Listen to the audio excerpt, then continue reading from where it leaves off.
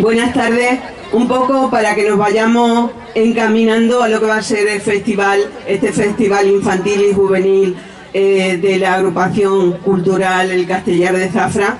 Decir que se va a hacer un desfile de los tres grupos participantes que vendrán hasta aquí y decirles que a todos los que quieran estar sentados y acomodados para, para ver el festival porque vayan ya agrupándose y haciendo ya su pues eh, ubicación a partir de ahora. Así que muchísimas gracias por estar aquí y, y bueno, lo más importante, estos tres grupos que participan hoy, que son Usagre y Almendralejo, además de como anfitriones Zafra. Así que muchísimas gracias y nada, que disfrutemos a partir de nada, enseguida.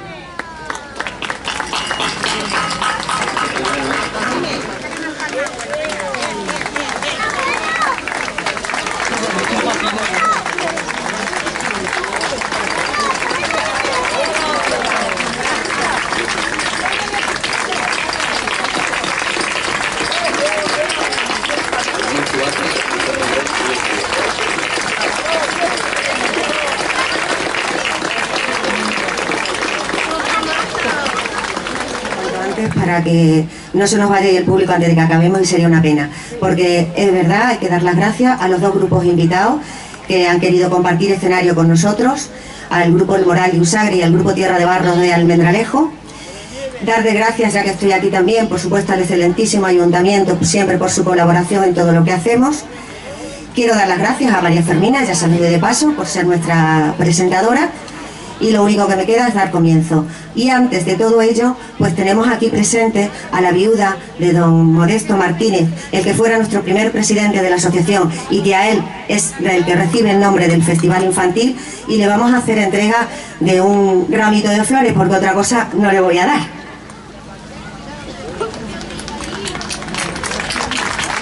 absolutamente maravilloso que después de dos años, sin podernos ver las caras, sin apenas podernos eso, dar un abrazo de, cariño y de respeto, ahora podamos eso, hacer ese homenaje eh, viéndole la cara contenta y esa sonrisa maravillosa de una mujer que también ha trabajado mucho por el grupo del castellano.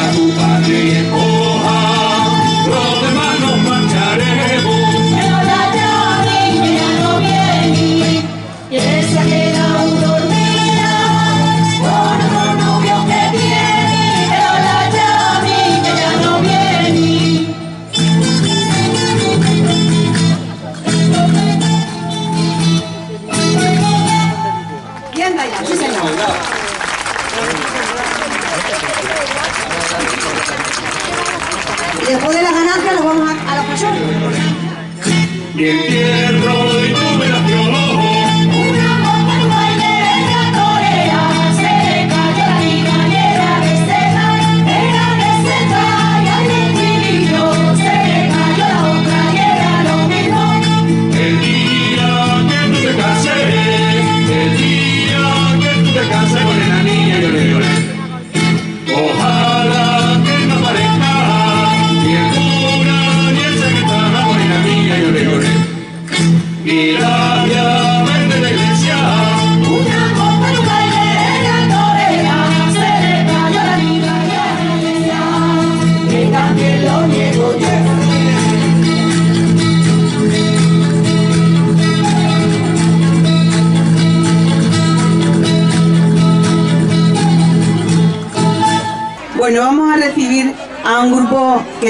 historia detrás muy bonita, que es el grupo de Usagre El Moral. Hay que decir que ellos comenzaron allí por 2003 y que gracias, como siempre, a gente entusiasta. En este caso fue una maestra y una señora eh, centenaria que pudo pues hacerse de un montón de datos y de historia que hicieron que la gente pues se entusiasmara con el folclore de su, de su ciudad, en este caso de su pueblo, de Usagre. Eh, eran mujeres usagreras las que intentaron a través de lo que habían aprendido en el colegio, a, través de maestras y maestros, algunos de ese folclore extremeño, ampliarlo e hacer a lo largo del tiempo que eso se fuera eh, im- imbricando y hacer que los niños y niñas fueran aportando, tanto jóvenes como niños como mayores, en todo eso. eh, de participar en este festival y, y bueno, comentaros que van a actuar eh, dos partes de nuestro de nuestro grupo, que son los infantiles, bueno, infantiles y, y los juveniles. Los juveniles van a hacerlo abajo porque necesitan un poco más espacio.